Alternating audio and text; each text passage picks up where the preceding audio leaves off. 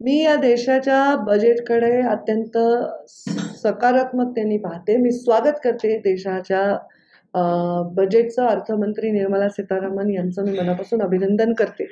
हे बजेट मोदी सरकारसाठी अत्यंत महत्त्वाचं बजेट होतं. कारण या टर्ममधले हे सर्वात शेवटचं बजेट आहे.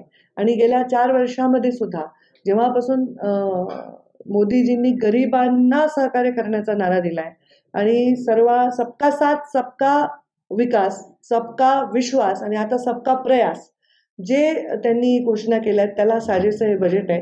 कारण आपण आता एक अमृत काल देशाचा निर्णय घेतलेला आहे.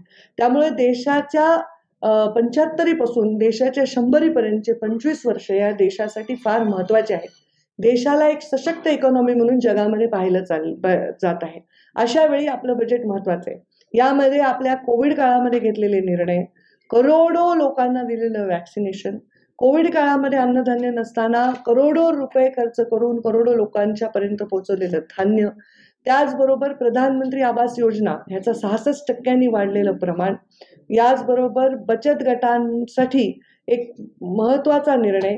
की जवळपास एक्क्याऐंशी लाख महिला बचत गटाचं सशक्तीकरण करण्याचा निर्णय. त्याच्यासाठी लागणारी पूर्ण शक्ती लावण्याचा निर्णय.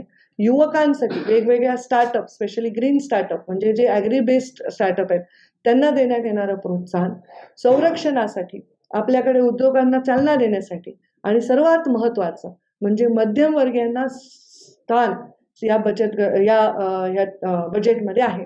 या मध्यमवर्गीयांना स्थान देऊन इन्कम टॅक्सच्या माध्यमातून जे त्यांचं